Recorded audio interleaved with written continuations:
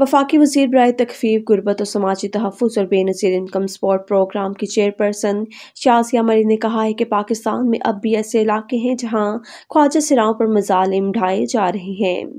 ये बात उन्होंने पीर को पायदार तरक्की की पॉलिसी, अदारा, इस्लामाबाद के जेर अहतमाम जूम लिंक के ज़रिए मनदा एक कॉन्फ्रेंस से खिताब करते हुए कही।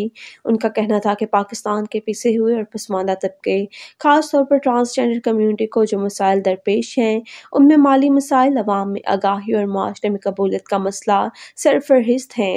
शाहसिया मरी ने पाकिस्तानी माशरे के इस पसमानदा और कमज़ोर तबके की फलाह बहबूद में पायदार तरक्की की पॉलिसी इंस्टीट्यूट के समाजी और इकतदी तावन को सराहा।